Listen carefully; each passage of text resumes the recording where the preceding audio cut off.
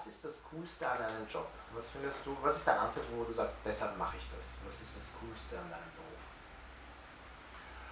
Das Coolste an äh, meinem Job ist, dass ich mich im letzten mit dem beschäftigen kann, mit dem ich mich beschäftigen möchte. Es geht bei uns um vielfältige Formen äh, der Kunst, ob das jetzt Musik, Literatur, bildende Kunst, neue Medien äh, ist dabei.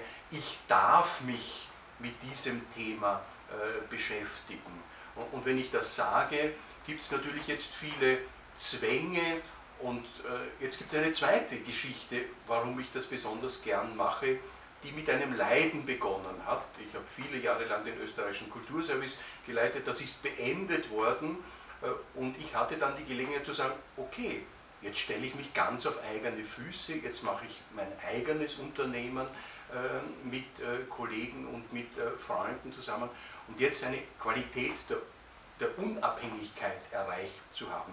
A, das tun zu dürfen, was ich wirklich möchte, B, es unter Umständen tun zu, zu können, die ich mir auch selber geschaffen und ausgesucht habe, ist ein großes Privileg.